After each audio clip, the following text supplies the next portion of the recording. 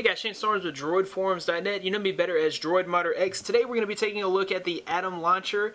This is a launcher with the minimalist fan in mind. So you'll notice at the top you have a status bar here that gives you the time, the battery percentage, and the date. If you click the arrow, you can add all kinds of stuff. You can add widgets. So you can add either widgets from your system or you can add Atom widgets. Now some of these widgets you'll have to download, like the digital clock. It wasn't available right off the bat. I had to download that it's, and then install it there. You also have theming options. You can go with any of these pre-installed themes or you can load uh, other launcher themes. You can change the icons. You can change the color. So now if we go back, our status bar there is green. You have some uh, other launcher settings,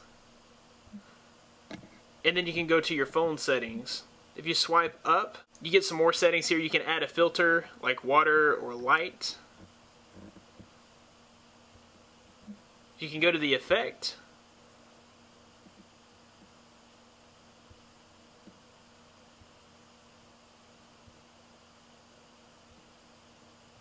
And then you can choose transparency.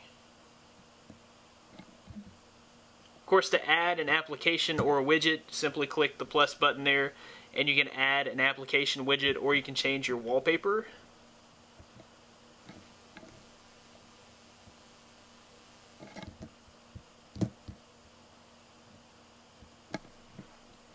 Course, this launcher is very lightweight and very fluid, very fast, and it's going to give your device a whole new look and feel. You guys probably want to head to the source link below and check out the Atom launcher.